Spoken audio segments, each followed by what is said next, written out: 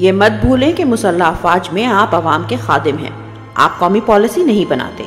इन मामला का फैसला हम आम शहरी करते हैं और यह आपका फ़र्ज़ है कि अपनी सौंपी गई जिम्मेदारियों को एहसन तरीके से सर अंजाम दें। कायद आज़म का जनरल अकबर खान से मुकालमा।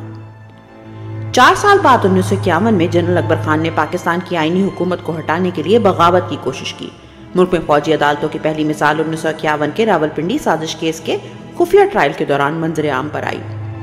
इस केस में एक जनरल, फौजी अफसरान और आम शहरी शामिल थे, जिसे रावलपिंडी साजिश केस कहा जाता है।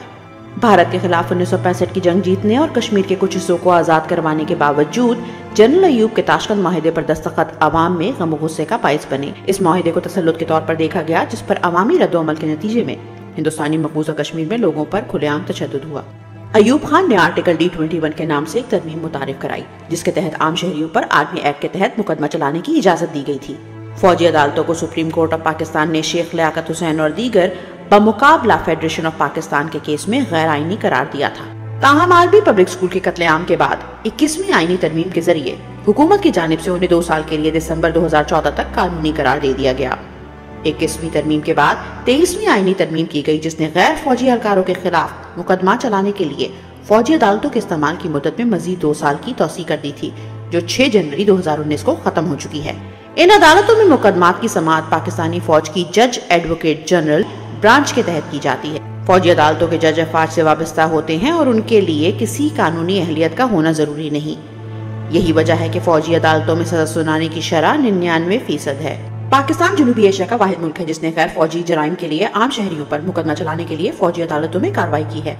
ये फौजी अदालतें कौमी और बैन अवी मुनसिफाना ट्रायल के म्यार से बरक्स हैं। इन अदालतों में अपील का हक में असर नहीं, ओपन ट्रायल की इजाज़त नहीं, तहरीरी फैसले के लिए दलायल बशमूल ज़रूरी नतज शवाहिद और कानूनी इस्तलाल की गुंजाइश मैसर नहीं।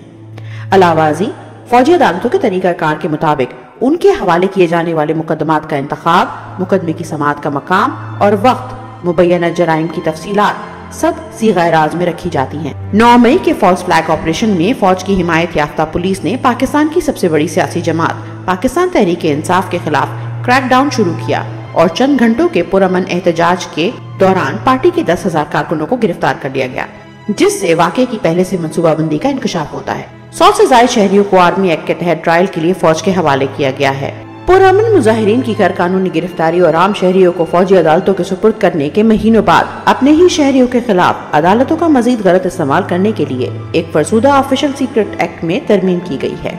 नौ मई को पुरमन मुजाहरीन और ममनुआ इलाकों से मुतालिक एक शिक की तरमीम के मुताबिक अगर कोई किसी फौजी तनसीब, दफ्तर, कैंप, ऑफ़िस या इमारत के किसी हिस्से तक रसाई दखल अंदाजी या उस तक रसाई या हमला करता है तो ये एक जुर्म है। ऐसी नकलो हरकत में जमाना जंग में जुर्म के जुमरे में आती है, ताहम इसमें तब्दीली करके उसे जमाना अम पर लागू कर दिया गया है। आर्मी एक्ट तरमीमी बिल में एक सजा का और मजीद इजाफा किया गया है, जिसके तहत फौजी अदालत में जेर समात किसी भी शख्स को पाँच साल तक सियासी गर्मियों में हिस्सा लेने पर पाबंदी होगी। अगरचे इस वक्त सदर अलवी ने ऐलान भी किया कि उन्होंने 2023 की इस तरमीम की मंजूरी के लिए दस्तखत नहीं किए। ताहम इस बयान के बाद भी उसे नाफिज किया गया।